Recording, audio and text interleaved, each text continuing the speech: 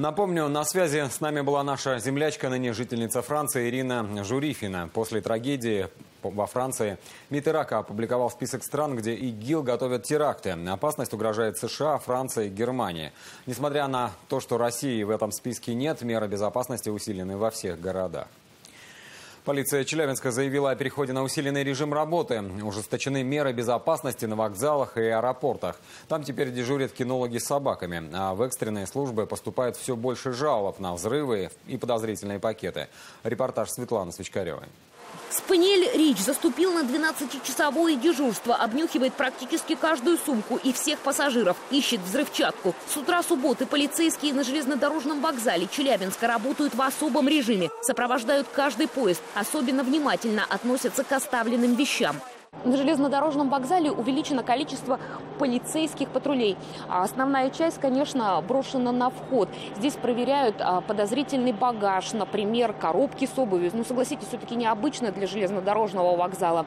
Ну и, конечно, людей, которые начинают нервничать, когда проходят металлоискатель. На входе люди предъявляют билеты и документы. Недовольных задержкой нет. Пассажиры понимают, меры вынуждены после теракта в Париже. Это хорошо, чтобы посторонние не пронесли оружие, какие-либо запрещенные предметы, от этого не пострадали люди. Все мы прекрасно э, помним о событиях, которые произошли и с нашим самолетом, и также во Франции. Я думаю, любые граждане относятся с пониманием к этому.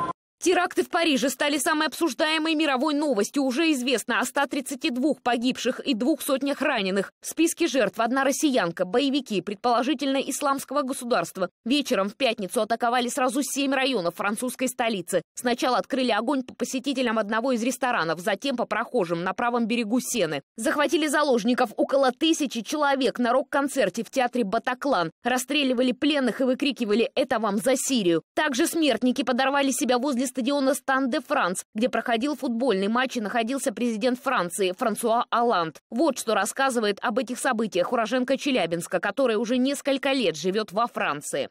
Было очень страшно, особенно за болельщиков на стадионе, так как их было 80 тысяч. О перестрелке и взрывах узнали во время матча. Большую часть ночи следили за событиями по ТВ, Перископу и Твиттеру в режиме реального времени. Весь город в это время был в соцсетях. Facebook подключил опцию для тех, кто находился в опасной зоне, чтобы люди сообщили, что с ними все в порядке. В Париже объявлен трехдневный траур и введен комендантский час. Во Франции введено чрезвычайное положение. Границы страны закрыты. Эксперты рассказывают, Европа в предрождественское время пользуется у южноуральских путешественников большой популярностью, несмотря на цену. Путевки на одного 60-70 тысяч рублей уже куплено несколько сотен туров. Пока официального запрета на поездки в Европу, в частности в Париж, от российского МИДа не поступало. Самостоятельно отказаться от туров без штрафных санкций тоже нельзя. Их беспокоит больше то, что если французским гражданам говорят не выходить из дома в целях безопасности своей, как же они туда приедут и кто их там обезопасит? Вот этот вопрос волнует многих.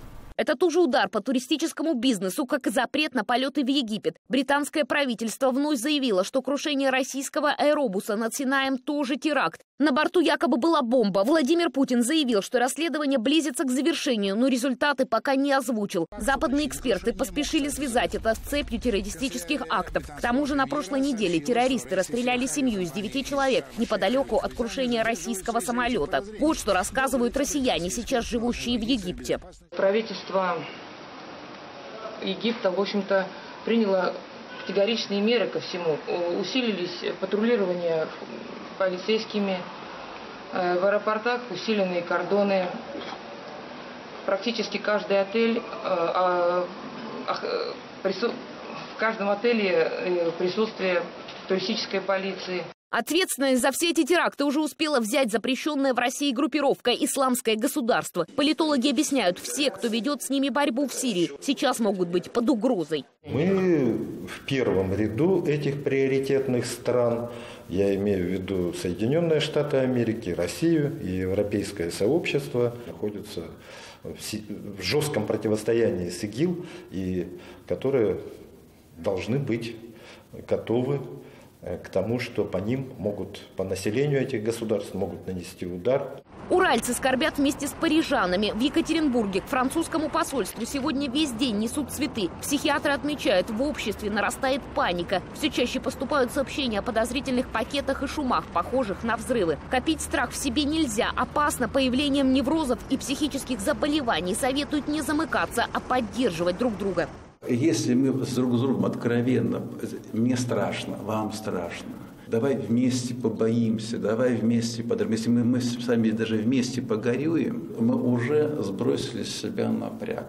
Правоохранительные службы Челябинска утверждают, поводов для паники нет, работают в усиленном режиме с самого начала авиаударов по ИГИЛу в Сирии. Меры приняты и приняты уже не только, скажем так, что вчера это, когда были позавчера теракты, а меры приняты уже давно, еще месяц назад уже полиция, можно сказать, в усиленном режиме работает.